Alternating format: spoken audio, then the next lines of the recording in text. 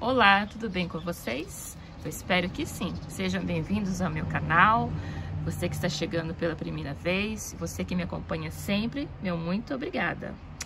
E hoje o nosso vídeo não é sobre suculentas. O nosso vídeo hoje é sobre essa plantinha linda, maravilhosa, que tem um nome um pouco estranho. Corações sangrentos. É... Aqui vocês podem ver na etiqueta aqui, ó, tem coraçõezinhos fechados, né? Aqui, ó. No caso, esse, né?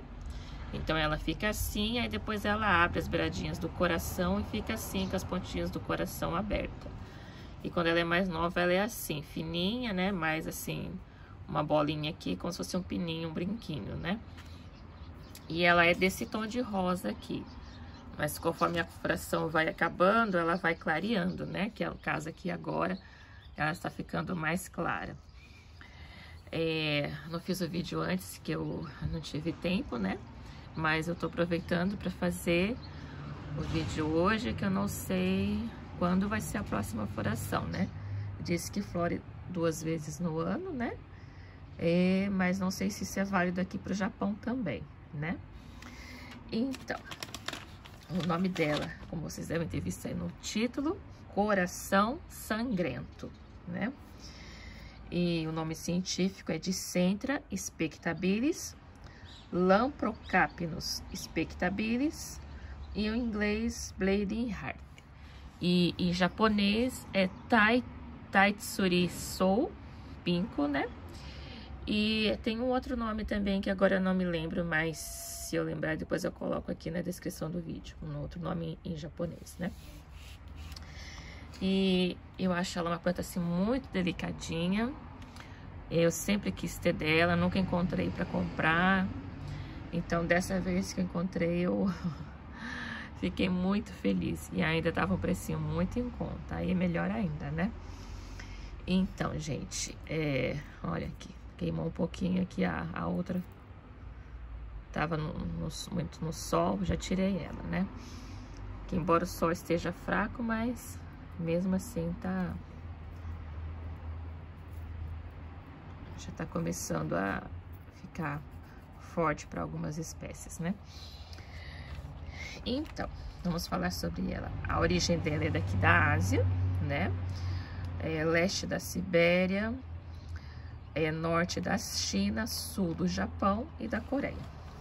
Ela é uma planta perene, ramificada desde a base é, com ramos eretos, de textura herbácea e altura de cerca de 50 a 1 metro e 30 de altura. Aqui na etiqueta diz que ela tem 60 centímetros, né? Pode atingir.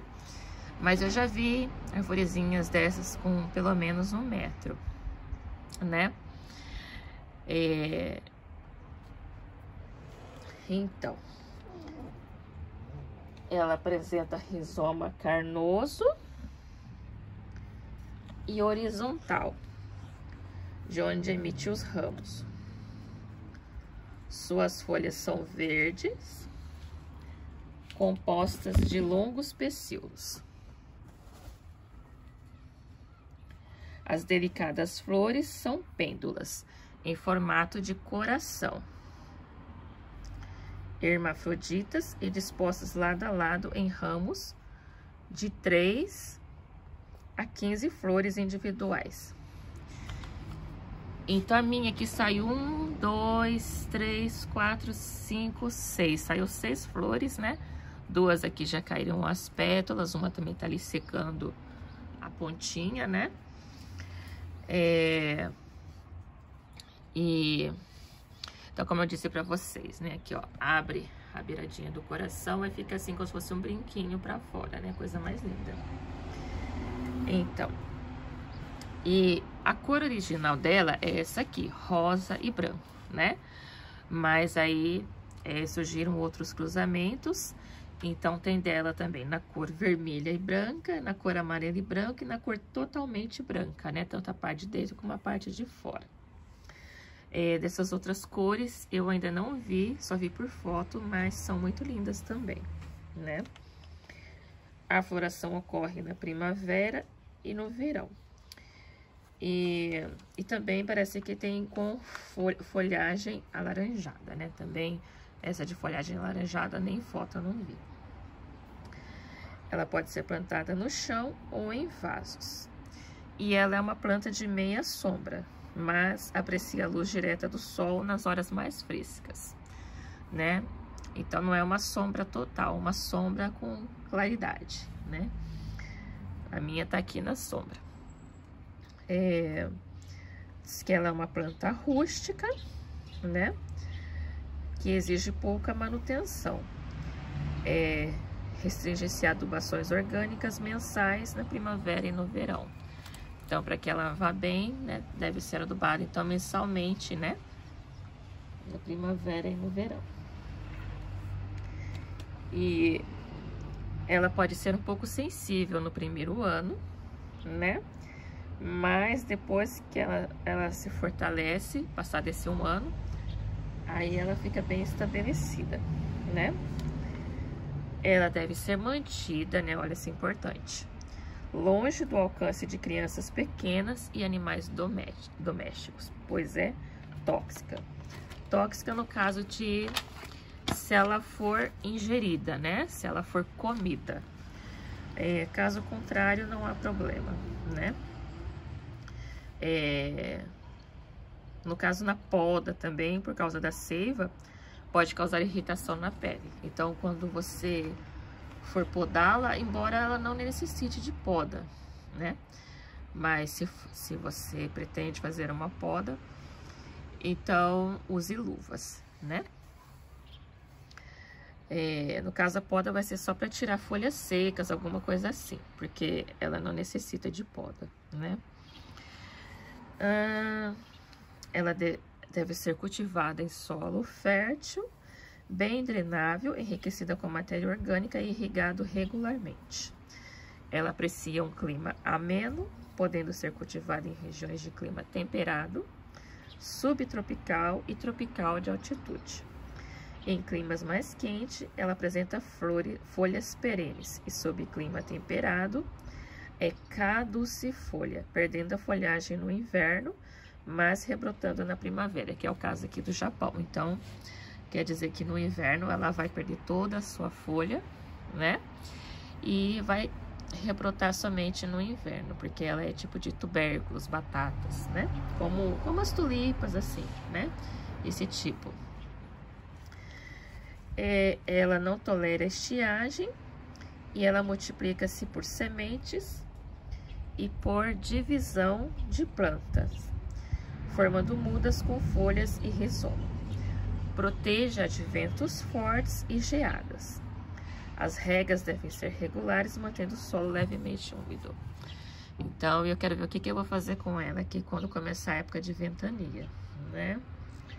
É, se a ventania for no inverno, tudo bem, porque ela já não vai estar mais com as folhas. Mas se for agora no verão, é... Talvez eu tenha que colocar algum suporte, né?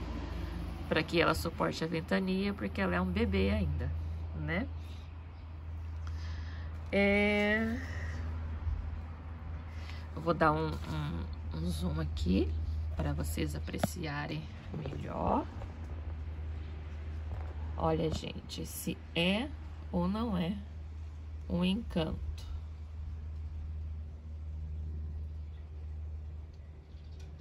Olha.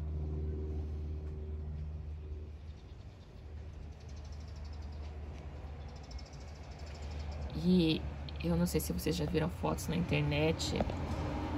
É, às vezes, assim, cada botão tá em uma fase. Tipo, um tá fechado, o outro tá é, tipo, querendo começar a abrir, o outro ainda tá bem fininho.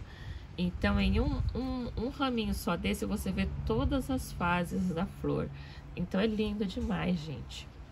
Lindo, lindo. A minha, quando eu comprei, tinha acho que dois botões abertos. É, acho que eu vou deixar a foto para vocês verem na capa do vídeo, né? E o resto estava tudo fechado. Aí, passando uma semana depois, aí todos abriram, né? É, Mesmo ela com o botão fechado, é linda, gente. Linda, linda, linda. E aí, gente, me digam, vocês já conheciam essa planta? Já conheciam essa florzinha?